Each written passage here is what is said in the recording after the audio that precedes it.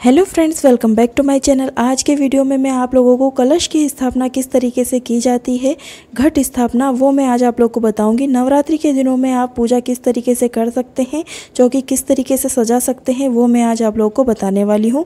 पूरा वीडियो ज़रूर देखिएगा। तो यहाँ पर मैंने सबसे पहले चौकी पर लाल कपड़ा बिछा लिया है, उसके बाद माता की तस्वीर रखी है। तो यहाँ पर मैंने तीन तस्वीरें रखी हैं, आप चाहें तो एक तस्वीर भी रख सकते हैं या फिर मूर्ति भी रख सकते हैं।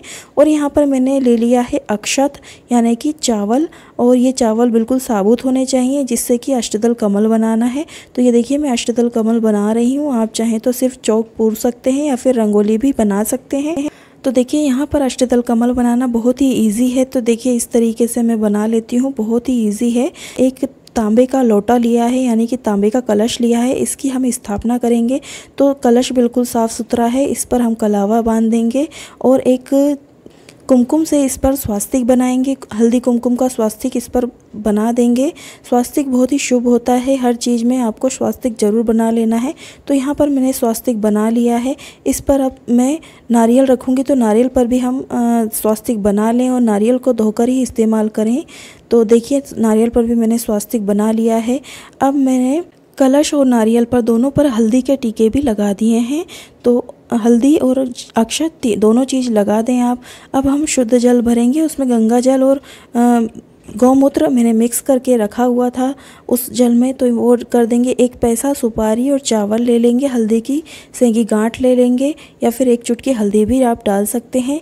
इससे जल हमारा शुद्ध हो जाएगा। उसके बाद हम आम के पत्ते लेंगे। आम के पत्ते भी बहुत ही ज़रूरी होते हैं या फिर आप पान के पत्ते भी ले सकते हैं। नारियल को आप किसी भी चुनरी या फिर लाल कपड़े से इस तरीके से ढक दें। आप जो पंच पल्लव लिए हैं, पाँच पत्ते, दस पत्ते, ग्यारह पत्ते, इस तरीके से आप ले सकते हैं।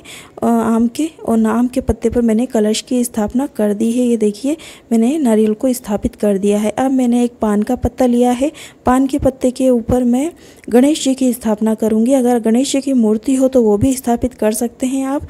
यहाँ पर मैं पैसे सुपारी को स्थापित करूँगी गणेश जी के रूप में। तो देखिए पान के पत्ते के ऊपर थोड़ा सा चावल मैंने रखा हुआ है अक्षत।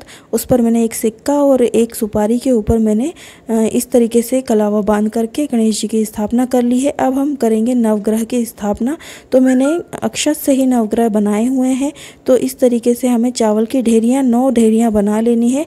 उन पर हमें एक एक सुपारी स्थापित कर देनी है। इससे हमारी नवग्रह की नवग्रह की स्थापना हो जाएगी। नवग्रह बनाना बहुत ही ज़रूरी होता है क्योंकि आप नौ दिन के लिए व्रत रखते हैं और देवी को मनाना बहुत ही ज़रूरी है। इसलिए हम नवग्रह की भी स्थापना करेंगे। अब हम अखंड जोत जलाएँगे तो हम अखंड जोत के लिए भी स्थापना कर देंगे। यह जोत पूरे नौ दिन जलती है, इसलिए इनकी भी स्थापना की जाती है। तो यहाँ पर मैंने अखंड जोत के लिए भी छोटा सा अष्टदल कमल बना लिया है। उस पर मैंने अखंड दीपक रख दिया है, उसकी भी मैंने तिलक कर दिया है। अब हम हमारी पूजा की थाली ले लेंगे। पूजा की पूरी सामग्री की वीडियो मैंने इसके ही जस्ट पीछे डाली हुई है, वो भी देखिएगा लिंक डिस्क्रिप्शन बॉक्स में मिल जाएगा आप लोगों को। अब हम दीपक को प्रज्वलित कर लेंगे। एक दीपक हम पूजा की थाली में रखेंगे और एक अखंड ज्योत को जला लेंगे। तो अखंड ज्योत पहले ही दिन से जला ली जाती है, पूजा स्टार्ट करने से पहले ही। तो देखिए आप पूजा शुरू कर देंगे। अगरबत्ती धूप बत्ती सारी चीज़ें मैं यहाँ पर जला लूँगी। तो पहले दिन ही आपको थोड़ा सा टाइम लगता है पूजा करने में, क्योंकि कलश की स्थापना करनी रहती है। बाकी नौ दिन आप सिंपल तरीके से पूजा कर सकते हैं। तो देखिए, मैंने धूप बत्ती वगैरह भी जला ली है और इस नवरात्रि में आप ये पूजा आप नवरात्रि, शारदीय नवरात्रि में भी इसी तरीके से पूजा कर सकते हैं। और चैत्र नवरात्रि में भी कर सकते हैं और गुप्त नवरात्रि में भी इसी तरीके से आप पूजा कर सकते हैं।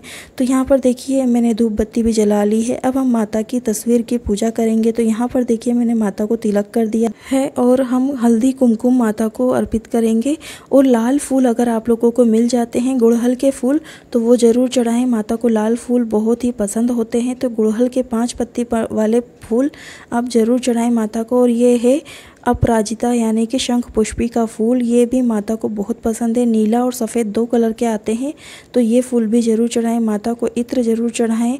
तो इस तरीके से माता को फूल इत्र चढ़ा दें और आप चाहें तो माला भी पहना सकते हैं। तो यहाँ हम गणेश जी की पूजा करना चालू करेंगे। तो देखिए, सर्वप्रथम गणेश जी की पूजा कर लेंगे हम। तो यहाँ मैंने गणेश जी को जनेऊ पहना दी है। गणेश जी को हल्दी, कुमकुम, चंदन लगा दें। यहाँ पर मैंने गणेश जी को दूबा चढ़ाई है। दुर्बा बहुत प्रिय होती है गणेश जी को। तो दुर्बा ज़रूर चढ़ा दें आप। दूबा आप घर में भी लगा सकते हैं।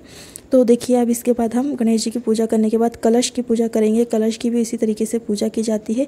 कलश पर हमने फूल चढ़ा दिए हैं, हल्दी कुमकुम लगा करके और इस तरीके से मैं काली माता की भी पूजा कर लूँगी। ये काली जी की पूजा भी मैं इसी तरीके से करती हूँ।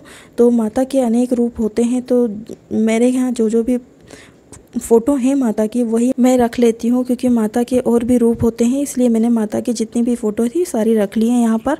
तो देखिए, इस तरीके से मैंने अखंड जोत जलाई थी, उस पर भी मैंने ढक्कन लगा दिया है और कांच का ढक्कन भी लगा सकते हैं। यहाँ पर देखिए, सिद्धेश्वरी माता की तस्वीर है मेरे पास तो उनकी भी मैं पूजा करूँगी इसी इस तरीके से पूजा कर सकते हैं। ये देखिए, यहाँ पर भी मैं इनको लाल फूल अर्पित करूँगी।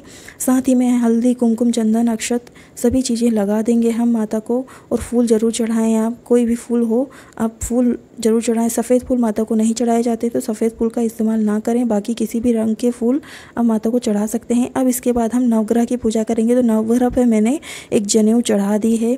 जनेऊ ज़रूर पहनाएँ नवग्रह पर, जिससे नवग्रह प्रसन्न होते हैं, घर में सुख शांति बनी रहती है। तो इस तरीके से मैं फूल भी अर्पित कर दूँगी और सभी नवग्रह पर मैं तिलक करूँगी।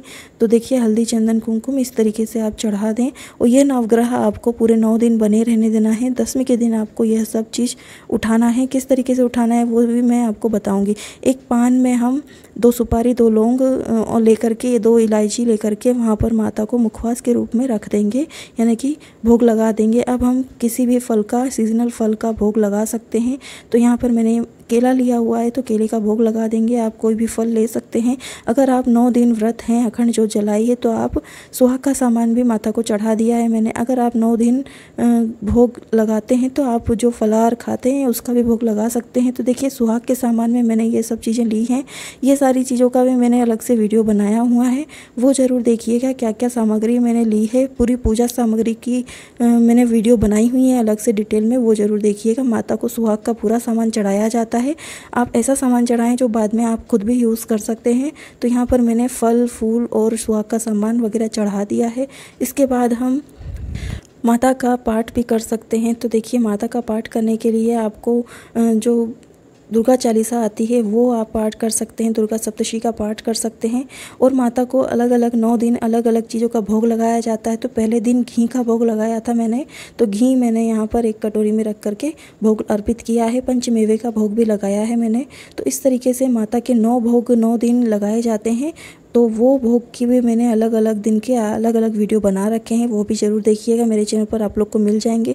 अब मैं दुर्गा चालीसा का पाठ करूँगी। दुर्गा चालीसा का पाठ आप 11 बार 21 बार या फिर पाँच बार कर सकते हैं। उसके बाद मैं हवन करूँगी। हवन सामग्री क्या क्या होती है और हवन किस तरीके से किया जाता है, वो भी डिटेल में मैंने वीडियो डाला हुआ है।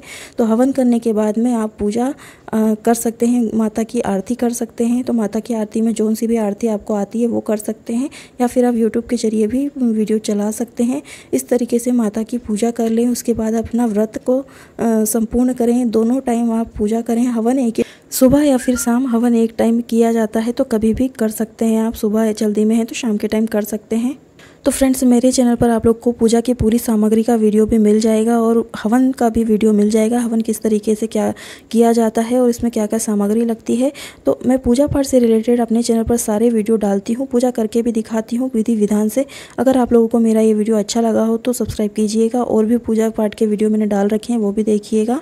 अपने फैमिली फ्रेंड्स में शेयर कीजिएगा, मेरे चैनल को सब्सक्राइब करवाइएगा। मिलते हैं मेरे अगले वीडियो में, तब तक के लिए thank you so much bye take